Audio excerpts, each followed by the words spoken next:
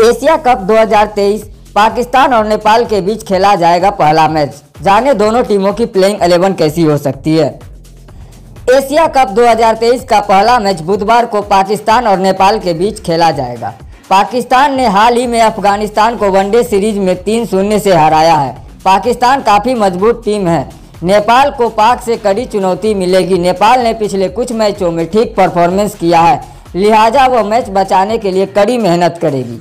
इस मुकाबले के लिए पाकिस्तान और नेपाल की टीमों की प्लेइंग 11 को संतुलित रखने की कोशिश करेगी। दोनों टीमें अपनी अपनी प्लेइंग 11 को।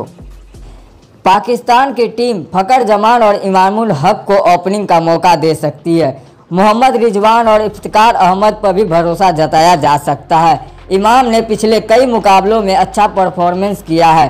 फ़कर भी अच्छे और अनुभवी खिलाड़ी है। उन्होंने पाकिस्तान के लिए कई अहम मुकाबलों में अच्छा परफॉर्मेंस किया है। शाहीन शाह अफरीदी और नसीम शाह टीम को दो शानदार तेज गेंदबाज हैं। इन दोनों की प्लेइंग 11 में जगह लगभग तय है। नेपाल ने अप्रैल, मई में आयोजित हुए एसीसी मेंस प्रीमियर कप 2023 में शानदार प्रदर्शन किया था।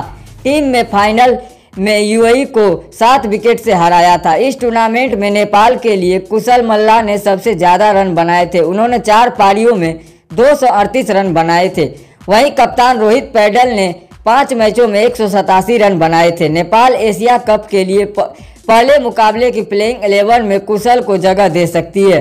वहीं टीम आसिफ शेख और भीम सरकी को भी जगह दे सकती है। करण केसी और ललित राजवंशी को भी जगह मिल सकती है। एशिया कप 2023 में पाकिस्तान के पहले मैच की संभावित प्लेइंग 11 की बात करें तो फ़कर जमान, इमामुल हक, बाबर आज़म, कप्तान मोहम्मद रिजवान विकेटकीपर इफ्तिकार अहमद, आगा सलमान, सादाब खान, मोहम्मद नवाज़, शाहीन अफरीदी नसीम शाह, हारिस राउफ।